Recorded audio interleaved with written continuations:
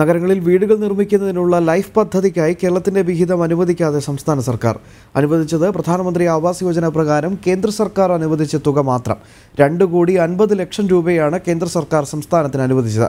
ഇരുപത്തിയഞ്ച് ശതമാനം സംസ്ഥാന വിഹിതം അനുവദിക്കണമെന്ന കുടുംബശ്രീയുടെ ആവശ്യവും സർക്കാർ പരിഗണിച്ചില്ല. തെളിവുകൾ ജനം ടി വിക്ക്. എല്ലാവർക്കും വീടെന്ന ലക്ഷ്യവുമായി കേന്ദ്ര സർക്കാർ നടപ്പാക്കുന്ന പ്രധാനമന്ത്രി ആവാസ് യോജന എന്ന പദ്ധതിയാണ് ലൈഫ് എന്ന പേര് മാറ്റി കേരളം നടപ്പാക്കുന്നത്. പദ്ധതി പ്രകാരം രണ്ട് ലക്ഷം വീടുകൾ നിർമ്മിച്ചത് വലിയ നേട്ടമായി സംസ്ഥാന സർക്കാർ അവതരിപ്പിച്ചിരുന്നു.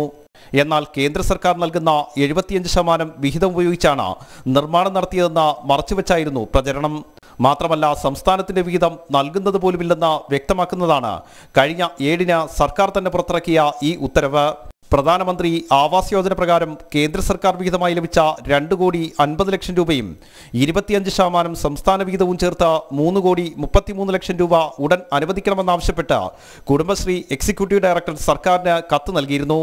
ഇരുപത്തിയാറ് പന്ത്രണ്ട് രണ്ടായിരത്തി പത്തൊൻപത് ലഭിച്ച കത്തിന്റെ അടിസ്ഥാനത്തിൽ സർക്കാർ ആകെ കൈമാറിയത് കേന്ദ്ര സർക്കാർ വിഹിതമായ രണ്ട് കോടി അൻപത് ലക്ഷം രൂപ മാത്രമാണ്. സംസ്ഥാന വിഹിതമായി ഒരു രൂപ പോലും അനുവദിക്കാതെയാണ് സർക്കാർ ഉത്തരവ് പുറത്തിറക്കിയത്.